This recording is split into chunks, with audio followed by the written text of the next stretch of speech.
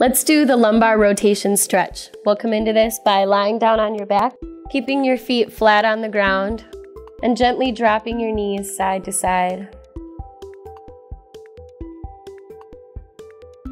You'll feel your thighs rub together, but there shouldn't be too much motion in the low back. Stay here for about 30 seconds if it feels good.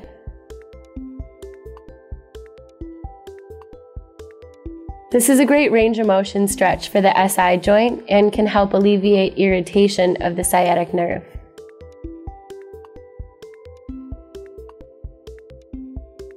When you're finished, come out of this carefully.